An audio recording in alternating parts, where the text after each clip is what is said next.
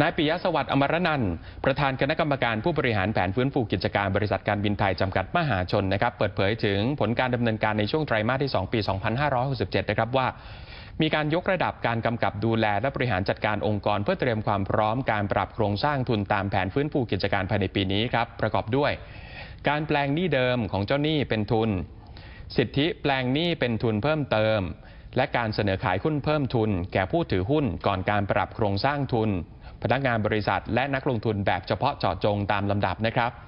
เพื่อมุ่งสู่การยื่นคำร้องต่อศาลล้มละลายกลาง เพื่อยกเลิกการฟื้นฟูกิจการและหุ้นของการบินไทย ให้กลับมาซื้อขายในตลาดหลักทรัพย์ ภายในไตรมาสที่ 2 ปี 2568 ซึ่ง ไตรมาส 2 ของปีนี้ 67 เนี่ยนะครับ บริษัทการบินไทยจำกัด แล้วก็บริษัทย่อยมีรายได้ทั้งสิ้น 43,981 ล้านบาท เพิ่มขึ้นร้อยละ 17.7 จากช่วงเดียวกันของปีก่อน ซึ่งมีรายได้รวม 37,381 ล้านบาท แต่ว่าลดลงไปร้อยละ 4.3 นะครับ จากไตรมาสแรกของปี 67 อันนี้ก็เป็นไปตามปกติของธุรกิจที่ไตรมาสที่ 2 เนี่ยนะครับ จะเป็นช่วงที่ปริมาณความต้องการเดินทางอยู่ในระดับที่ต่ำสุดของปี นอกจากนี้ครับ ในช่วง 6 เดือนแรกของปี บริษัทการบินไทยสามารถชำระหนี้ตามแผนฟื้นฟูกิจการไปแล้ว รวมทั้งสิ้น 4,644 ล้านบาท